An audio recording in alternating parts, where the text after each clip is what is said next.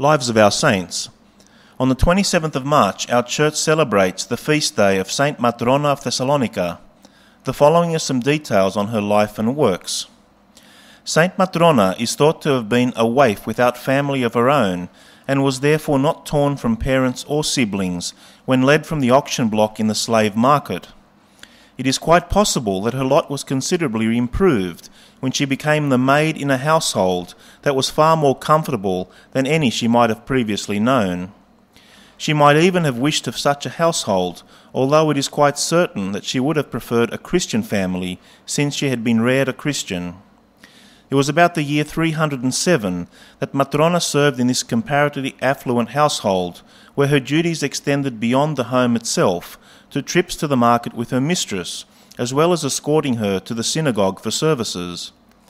While waiting at a discreet distance from the synagogue's entrance, it occurred to Matrona that she could make better use of her time by attending a Christian service. Not all Christian services were public affairs in those days of pagan persecution, but Matrona found a place nearby where Christian worship was observed in secret. It was to this hidden church that she would hurry once her mistress had disappeared into the synagogue.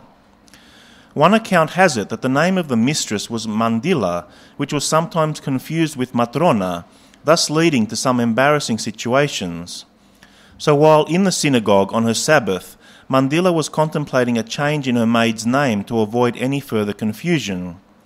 She had decided on a name and left the synagogue early to tell Matrona of her plan, but the maid was nowhere to be found.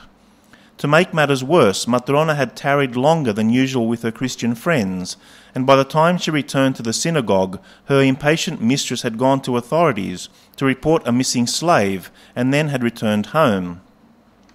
A state official had gone to the house for details about the missing girl when the thoroughly frightened Matrona came running in. An alarm had been sent out for the girl's apprehension when she, when she came panting into the house the official assumed that the girl, finding herself on report as a runaway slave, had chosen to return with the story that she had left her post outside the synagogue and had lingered with a few friends. She was not believed when she could not name her friends. She knew they would be hunted down and their church would be found out and destroyed. The mistress was of no help to Matrona, who pleaded for her forgiveness, but to no avail, not only for having abandoned her mistress, but for now offering as a defence some imaginary friends, seemingly adding insult to injury. The official suspected the truth, but needed the permission of the mistress that placed Matrona under arrest. Thus Matrona was given over to the authorities by an indifferent and vindictive mistress who knew what the consequence would be if the girl insisted on holding her tongue. She was taken to prison and was forced into admitting that she had been with Christian friends in worship of the Saviour, but beyond that she would say nothing else. No amount of torture could force the girl either to betray her friends or to denounce the Messiah.